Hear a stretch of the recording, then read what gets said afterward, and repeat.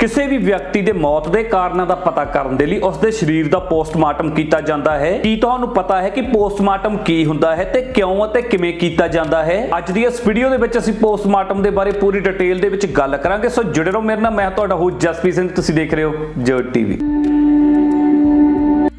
Post ਦਾ ਅਰਥ ਹੁੰਦਾ ਹੈ ਆਫਟਰ ਜਾਨੀ ਕਿ ਬਾਅਦ ਤੇ ਮਾਰਟਮ ਦਾ ਅਰਥ ਹੁੰਦਾ ਹੈ ਡੈਥ ਭਾਵ ਕਿ ਪੋਸਟਮਾਰਟਮ ਵਿਅਕਤੀ ਦੇ ਮਰਨ ਤੋਂ ਬਾਅਦ ਕੀਤਾ ਜਾਂਦਾ ਹੈ। ਜਦੋਂ ਕਿਸੇ ਵਿਅਕਤੀ ਦੀ ਮੌਤ ਸਮੇਂ ਤੋਂ ਪਹਿਲਾਂ ਜਾਂ ਕਿਸੇ ਦੁਰਘਟਨਾ ਦੇ ਨਾਲ ਹੋ ਜਾਂਦੀ ਹੈ, ਅਜਿਹੇ ਦੇ ਵਿੱਚ ਪ੍ਰਸ਼ਾਸਨ ਮ੍ਰਿਤਕ ਸਰੀਰ ਦਾ ਪੋਸਟਮਾਰਟਮ ਕਰਵਾਉਂਦਾ ਹੈ ਤਾਂ ਕਿ ਉਸ ਦੇ ਮਰਨ ਦੇ ਅਸਲੀ ਕਾਰਨਾਂ ਦਾ ਪਤਾ ਲੱਗ ਸਕੇ। ਇਸ ਦੇ ਵਿੱਚ ਸਰੀਰ ਦੀ ਪੂਰੀ ਚੰਗੀ ਤਰ੍ਹਾਂ ਦੇ ਨਾਲ ਜਾਂਚ ਕੀਤੀ ਜਾਂਦੀ ਹੈ। ਅਸਲ ਦੇ ਵਿੱਚ ਪੋਸਟਮਾਰਟਮ ਇੱਕ ਸਰਜੀਕਲ ਪ੍ਰੋਸੈਸ ਹੈ। ਪੋਸਟਮਾਰਟਮ ਨੂੰ ਆਟੋਪਸੀ ਅਤੇ ਪੋਸਟਮਾਰਟਮ ਐਗਜ਼ਾਮੀਨੇਸ਼ਨ ਵੀ ਕਿਹਾ ਜਾਂਦਾ ਹੈ। ਪੋਸਟਮਾਰਟਮ ਹਮੇਸ਼ਾ ਮਰਨ ਵਾਲੇ ਦੇ ਰਿਸ਼ਤੇਦਾਰ ਜਾਂ ਉਸਦੇ ਪਰਿਵਾਰਕ ਮੈਂਬਰਾਂ ਦੀ ਇਜਾਜ਼ਤ ਦੇ ਨਾਲ ਹੀ ਕੀਤਾ ਜਾਂਦਾ ਹੈ। ਹੁਣ ਤੁਹਾਨੂੰ ਦੱਸਦੇ ਹਾਂ ਜੀ, ਪੋਸਟਮਾਰਟਮ ਆਖਰ ਹੁੰਦਾ ਕਿਵੇਂ ਹੈ। ਡਾਕਟਰਾਂ ਦੇ ਅਨੁਸਾਰ ਸਭ ਤੋਂ ਪਹਿਲਾਂ ਪੋਸਟਮਾਰਟਮ ਕਰਨ ਦੇ ਲਈ ਲਾਸ਼ ਨੂੰ ਫ੍ਰੀਜ਼ਰ ਦੇ ਵਿੱਚੋਂ ਬਾਹਰ ਕੱਢਿਆ ਜਾਂਦਾ ਹੈ ਤੇ ਫਿਰ ਉਸ ਨੂੰ ਅਲੱਗ ਤੋਂ ਬਣੇ ਪੋਸਟਮਾਰਟਮ ਕਰਨ ਵਾਲੇ ਰੂਮ ਦੇ ਵਿੱਚ ਲਿਜਾਇਆ ਜਾਂਦਾ ਹੈ। ਪੋਸਟਮਾਰਟਮ ਕਰਨ ਦੇ ਲਈ ਕੁਝ ਖਾਸ ਮੈਡੀਕਲ ਔਜ਼ਾਰਾਂ ਦੀ ਵਰਤੋਂ ਕੀਤੀ ਜਾਂਦੀ ਹੈ। ਪੋਸਟਮਾਰਟਮ ਕਰਨ ਦੇ ਦੋ ਮੁੱਖ ਹਿੱਸੇ ਹੁੰਦੇ ਨੇ। ਪਹਿਲਾ ਹਿੱਸਾ ਹੁੰਦਾ ਹੈ ਸਰੀਰ ਦੀ ਬਾਹਰੀ ਜਾਂਚ ਕਰਨੀ। ਇਸ ਤੋਂ ਬਾਅਦ ਪੋਸਟਮਾਰਟਮ ਦੇ ਦੂਜੇ ਹਿੱਸੇ ਦੇ ਵਿੱਚ ਸਰੀਰ ਦੀ ਅੰਦਰੂਨੀ ਜਾਂਚ ਕੀਤੀ ਜਾਂਦੀ ਹੈ। ਇਸ ਲਈ ਪੋਸਟਮਾਰਟਮ ਕਰਨ ਸਮੇਂ ਛਾਤੀ ਤੋਂ ਲੈ ਕੇ ਪੇਟ ਤੱਕ ਚੀਰਾ ਲਗਾ ਕੇ ਪੂਰਾ ਪੇਟ ਨੂੰ ਕੱਟਿਆ ਜਾਂਦਾ ਹੈ।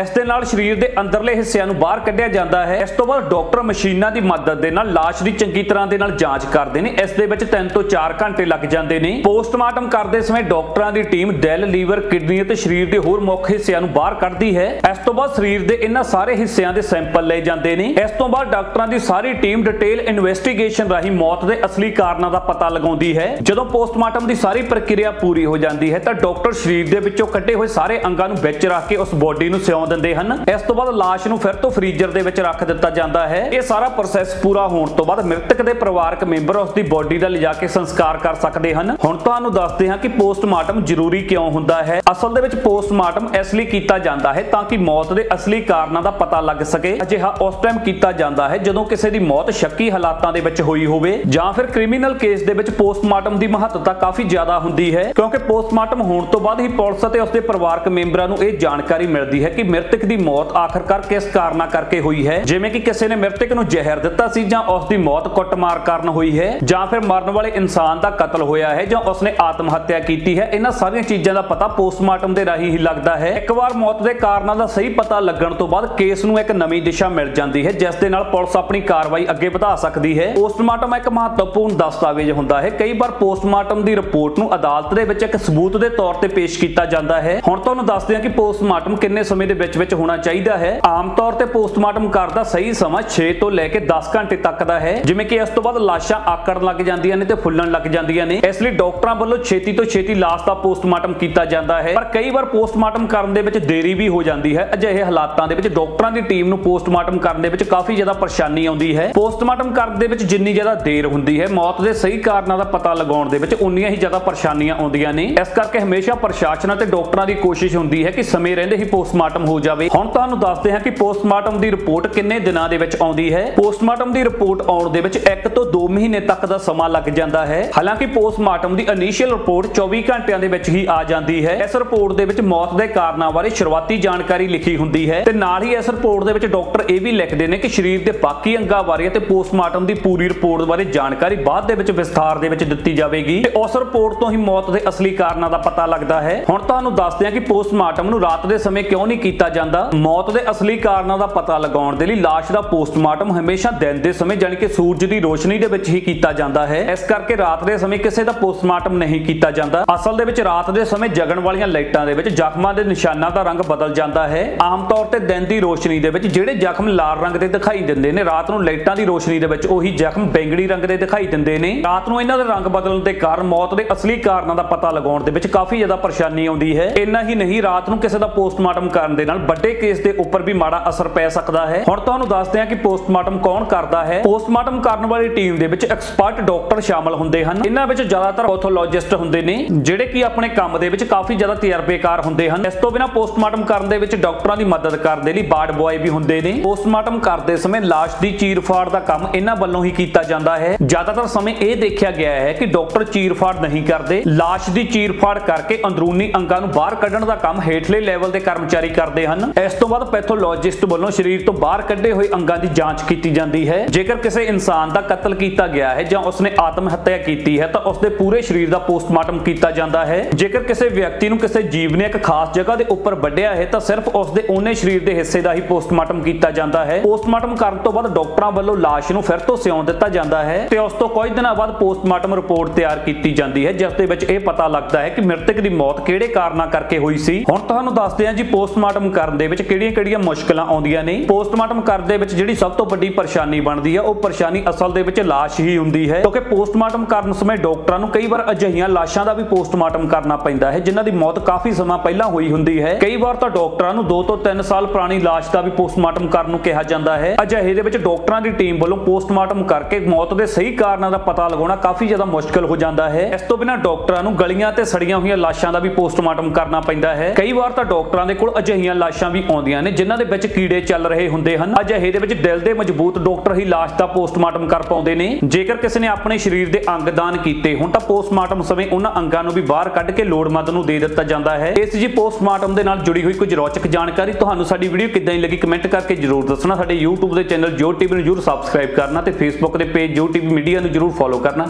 ਧੰਨਵਾਦ।